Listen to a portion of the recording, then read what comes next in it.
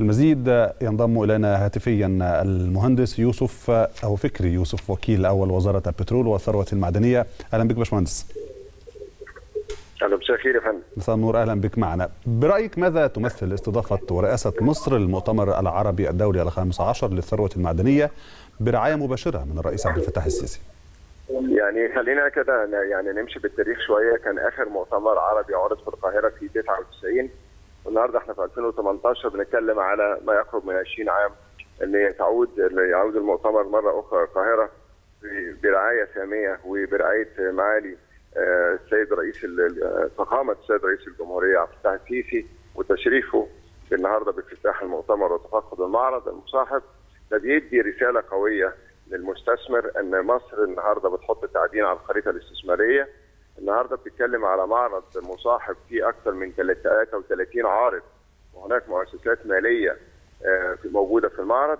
وانت لما تعرف المؤسسات المالية دايما بتروح للمشروعات اللي هي ذات المخاطر القليلة.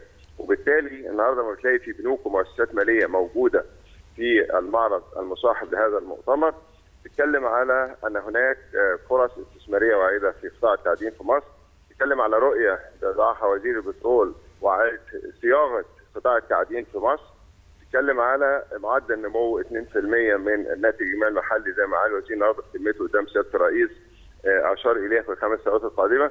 كل هذا رسائل إيجابية بتتكلم على أن التعدين إن شاء الله أحد قاطرات التنمية قادم إن شاء الله بدراسات وبإعادة يعني رسم خريطة سياسية أخرى في التعدين في مصر. اذا إذا أردنا أن نتحدث عن أبرز القضايا والموضوعات التي يناقشها المؤتمر.